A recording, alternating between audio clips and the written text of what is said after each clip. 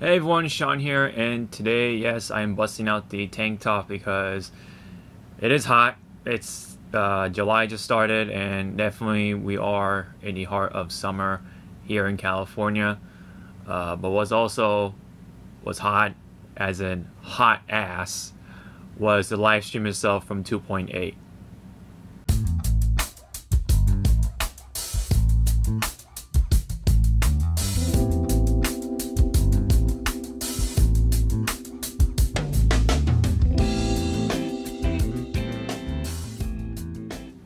Alright, well, as you can tell already from the title of the video, I am definitely going to be talking about uh, the 2.8 live stream that happened uh, last night as I record this uh, uh, on Twitch and on other various streams, depending on which region you're from.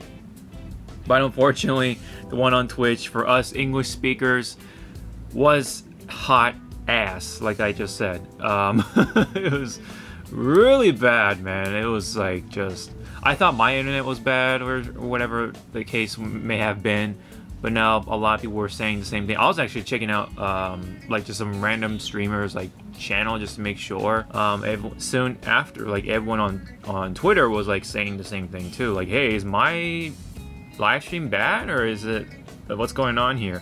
And yeah, so it was complete ass um, when it came to the experience and yeah it was pretty bad. Like it was rewinding. It was like going back to the same like uh, what was it the redeem code for um, Primogems and stuff like that. It was pretty it was kind of hilarious but at the same time it was really bad to like try to di digest the information of said um, you know announcements and stuff like that.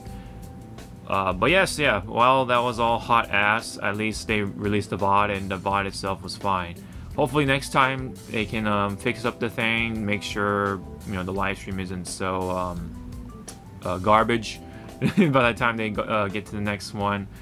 Uh, hopefully that'll be a thing.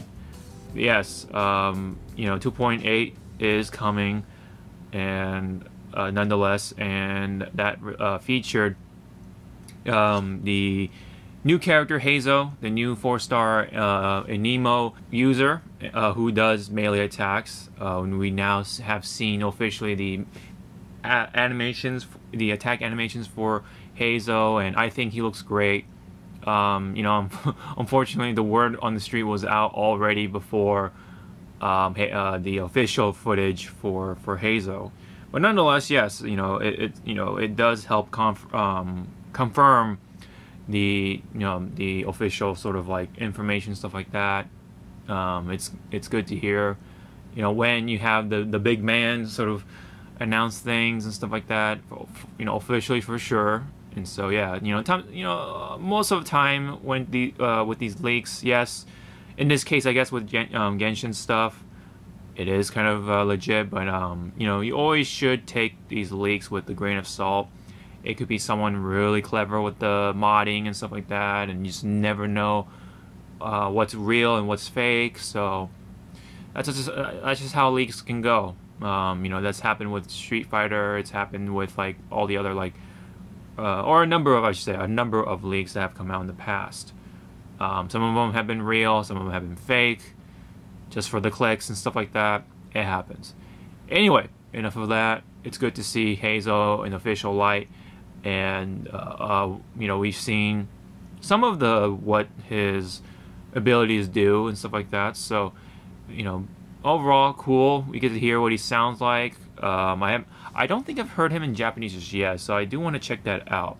But I heard him in English, and you know it's not bad. It's you know pretty a decent voice, I would say. But nonetheless, though, I'm all about the animations, the what he actually does, and I think he looks incredibly cool, and it's really awesome to see that the uh, melee sort of users or brawlers are coming into um, Genshin Impact now as playable characters, and I hope to see more of that. I hope to see more of something like that for um, in the future. And I, I, you know, like I said previously in another video uh, or in an older video, I feel like the Catalyst users are just gonna fill in the rest of like the weapons, right? So, you know, for example here, uh, Heizo is going to be the brawler. Um, otherwise, where else could we he- uh, see that, right? So, um, unless they made new weapons in the future, I think they, uh, they would have um, you know, they would have just stuck that into another weapon or something like that uh, as a means of getting around, um, I guess, dev time, like cut some dev time down. And, you know, but at the same time, you know, spice up the variety a little bit too. So it, it kind of works both ways in this case. I think it's fine. Um, I think it's pretty clever from a more like a project standpoint as someone who, who has dealt with, you know, with projects and you want to do like shortcuts and stuff like that to help uh, meet the due time and stuff like that in college. Um, I, I, think it's pretty clever, right? And it works. I think it's fine. Uh, so either way, uh, I'm pretty excited for Heizo, and I do want to pull for him uh, along with Kazuha. Kazuha is going to be coming for a rerun finally. We all been waiting for it. I think it's pretty awesome.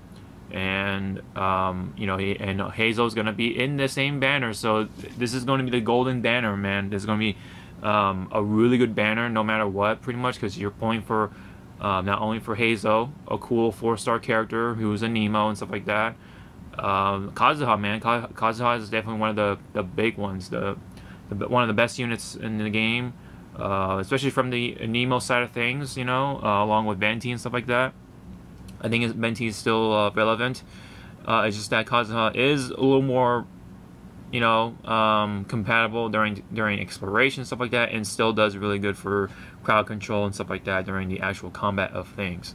So I think, um, you know, he's still uh, really good. It's just that Kazuha does some things better than him for sure. So that's why, you know, it definitely works. And Kazuha, you know, makes him that makes him like really really good, um, no matter what. So I think characters like him will be relevant for a very long time, especially with um, you know you know something else that was announced. But anyway, I think um, you know it's uh, looking pretty good. The banner is looking pretty good. Not only we're getting Kazuha, but we're getting Klee at the same time as a dual banner thing. Uh, so if anyone who wants Klee for like the character or something like that, or just for the fun of it, wants to get more constellations for Klee, there you go. There's another opportunity. And not only that, you still have say, uh, Heizo in that same sort of time, uh, I guess, uh, in, in, that same schedule. So I think it's um, pretty awesome. We're also getting uh, Yoimiya in the mix uh, in phase two of this update, so I think it's also pretty cool for those who do want Yoimiya uh, constellations. I think she's also a good unit too. Um, she is a really good uh, DPS unit if you are into just like chipping away enemies real fast because her damage really comes from her skill and not so much her burst. So you don't really have to like build her for, for recharge. So you don't have to ha you have to worry about any recharge stats in your substats, uh, in your uh, artifacts. And yeah, so I think uh, she'll definitely be a good one to pick up if you haven't already because she she does damage. Uh, she definitely does damage. She has she has helped me out in the abyss, you know, in certain situations where you need distance and stuff like that, or just like really need to like mow down people real fast um, without having to rely on a burst. That's why I kind of use her during um, the bish- uh, the bishops or whatever that you know sap away your energy. Um, she helps out in that situation because she doesn't need energy because her skill is what the, what does the most damage in that situation. So I think she's a real good unit in that in that regard. Um, she's a S uh, S tier damage unit, I think, and yeah, so she is a good pickup uh, if, you, if, you, haven't already, and if you're willing to spend uh, that um, your Primogems there too, I think uh, she's a good pickup, in my opinion. The other ones that root that do come to mind is of course the that like the story that comes along come, uh, that comes along with it we are getting a new island of sorts, so we're, we're getting like the, the Apalago, whatever, whatever you call it, uh, now featuring uh, Fischl this time around instead of uh, Klee. And uh, we're just gonna go on an adventure. It's pretty, uh, I think it'll be like a, one of those like cute ones, right? Because it's featuring uh, Fischl, of course, Oz, and not only that, but we're getting Xinyan, which is pretty pretty random, but all right, um, I'll I'll take it, and Mona um, and also Kazuha. So I think it's a pretty interesting grouping for this uh, for this story. And not only that, we're getting a, the official, the official costume, uh, the four star costume, so that will be free for us to grab uh, from the event as long as we play the event, of course. And then there is the actual five star costume for Diluc. It's actually five star because it comes with new animations, stuff like that. It looks really updated. Actually, looks really awesome, and there's a story behind it too because he looks like something from Fatui or whatever, and his vision is well not visible. So um, this may be like him either going undercover or he, he's just wearing his father's costume or whatever as some means or he's maybe gone to the dark side or something. I don't know. I i, I have no idea. Maybe um, he has his reasons and stuff like that. So hopefully we can find out the uh, backstory of this costume however we may and hopefully we, we um, those answer answers will come up uh, for Diluc. Why is his costume a thing and whatever? Why is this, this why is this and why that why is that and all that in between. So um, the other cool thing that do that does come to mind, of course, is the last part of the the announcement, which was uh, Sumeru. Uh, Sumeru was shown off a little bit. It was teased. Um, I was I did watch it in the uh, the uh, trailer for from the Japanese side of things, and it does look really cool. I, I really do like the greens, right? There's a lot of greens in there. Um, it looks great. Like this is the design overall, the colors. I mean, um, but the structuring of everything, the, the leaves, the foliage, the just that plant uh, vegetation and stuff like that. The overall sort of use of design with the trees and plants and just um, botanical life and stuff like that looks really awesome. Uh, I do like it for what it is, and I look. I think it'll be another fun region to explore. There's going to be, uh, from what I've heard, um, a lot more puzzles, a lot more things to discover, and that means you know more more gems and stuff like that to pick up along the way. So hopefully that's a thing. But either way, um, we are getting a new region. You know, it's been confirmed. Uh, I think we're gonna just gonna go go straight into Genshin point, uh, 3.0 uh, just because I, I believe that's how what happens in Genshin Impact anyway with these updates. We just jump right into 3.0 after 2.8 or 1.8 or whatever. So I believe that's what happened.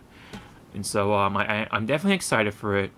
Now it does, you know, it does make, make me a little concerned about how Hoyoverse has been doing things with this game, which is basically nothing, if you know what I mean. Like they, they they've done all these like mini games and stuff like that they haven't really done much to sort of like re-innovate the game or anything like that, or really like help out the players with what actually needs to be updated, like like the up um some of the gameplay mechanics, some of the menu navigation, and God, we need more teams, man. We need more team slots.